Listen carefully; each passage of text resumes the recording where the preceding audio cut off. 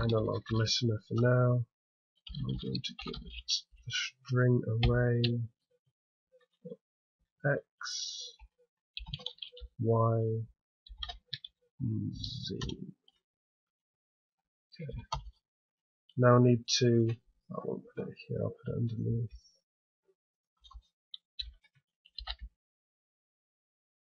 Need to create the analog listener.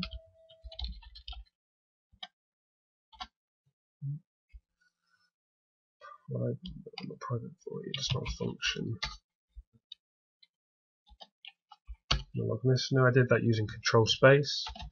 New control space analog listener, and then it filled in all the details for me, end up with a semicolon.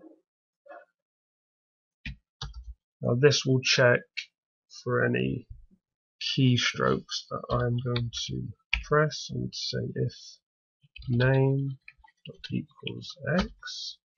I'm going to tell it to rotate our spatial Sinbad in the x direction by time per frame. Let's say if name equals y. I'm going to tell it to rotate in the y direction by time per frame, then if it equals z, going to tell it to rotate in the z direction by time per frame. And so this will also allow me to rotate it in two different axes at the same time if I hold two different keys down. And what's wrong up here? Okay, I need to nope to end that. Shift F6 to test this. And now we have our Ogre Sinbad. I'm going to press the Z to move him. And one thing I need to do is remove the fly cam because Z is also a method or a key trigger to move the fly cam downwards. So if you have updated to the latest stable SDK, you should now be able to get rid of the flycam very easily because it is now all in app states based on the constructor passed to the super. And okay, it's rotations done. So now Shift F6. Oh, got an error. Bring it up so you can see. Null pointer exception. I'll click this. Okay, I need to get rid of these two as flycam no longer exists. So hopefully that now works. Okay, brilliant. So I can no longer move the camera around because I've disabled the flycam, the stats, there was another app state, but I can't remember what that one does. I think it was the debug keys, like M for memory, if I remember correctly. Okay, so now, if I press Z, it's going to rotate around the Z axis. So, what do you think should happen if I was to rotate him around the X axis? You would expect it to rotate like this.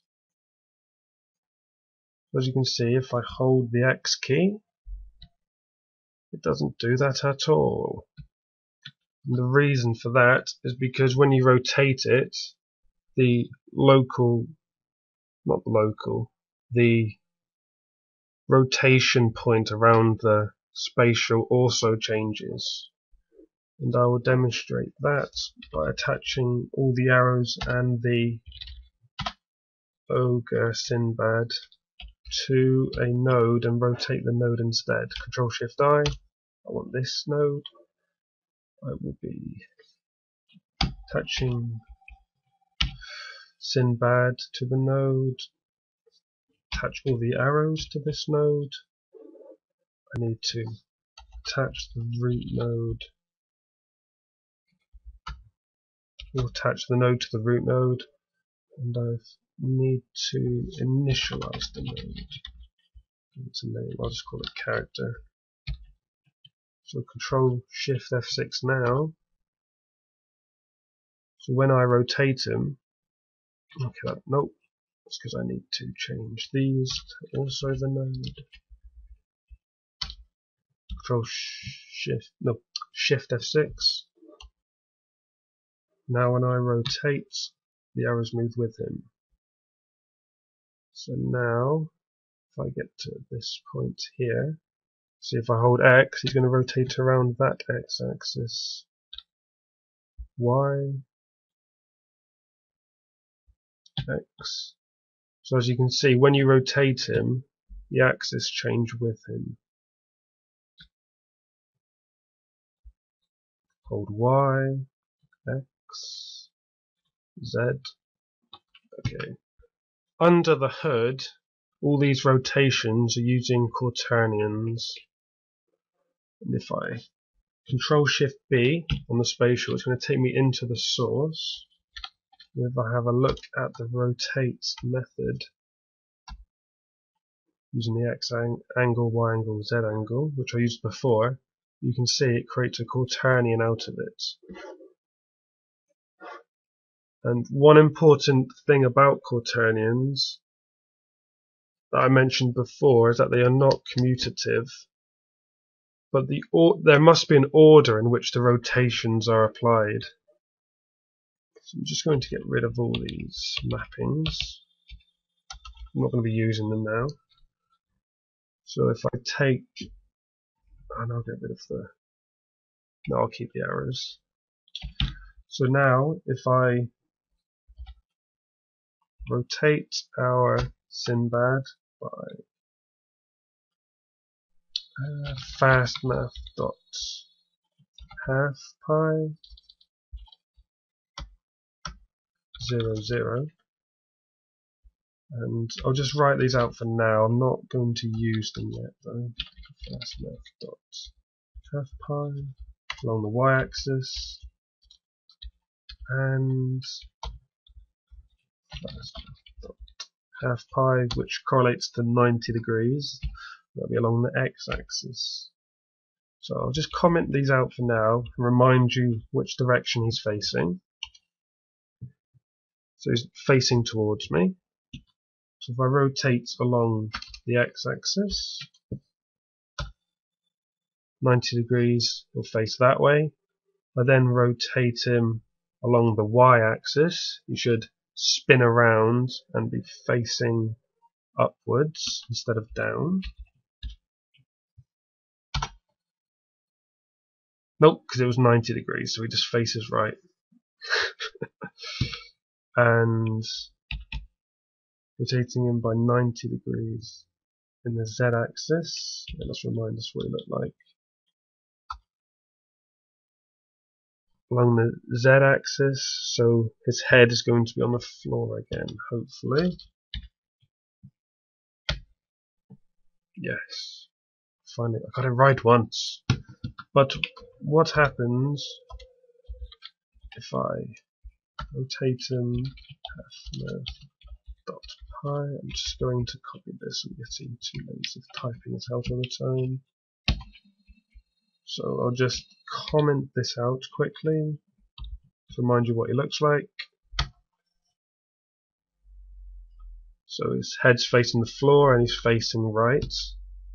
And mm, I needed to use half pi, not pi. Damn you! Copy this. Okay. I'm going to comment out these ones. And you'll find he's not going to be facing the same way at all. So I've used the exact same rotations along the X, Y, and Z. But what this shows is that the order of rotations is not applied X first, then Y, then Z. It is in fact applied y first, then z, and then x when using quaternions in the JMonkey engine. So if I comment out this, it should be the same rotation. Quickly verify it again in case you forgot what it looks like. And there you can see it's exactly the same. So you have to be careful when using cumulative rotations to get the rotation you want. And I guess I should probably discuss how to create quaternions out of Euler angles. And simply it's new quaternion, Control Shift I, to import it, I'm going to type from angles, this is probably the easiest way to do it. Fastmath.halfpi.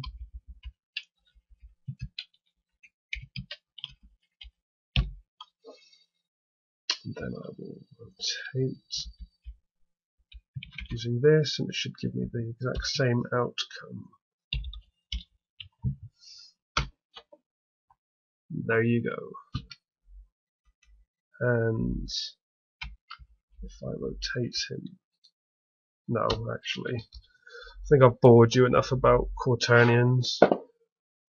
Wow, rotations, not really much quaternion discussion, but if you go to the palette, there's a number of rotation quaternions. If I just copy one here, and this will go around the pitch 270. Pitch being the x-axis. So yeah, if you ever want to use those, they're available in the palette.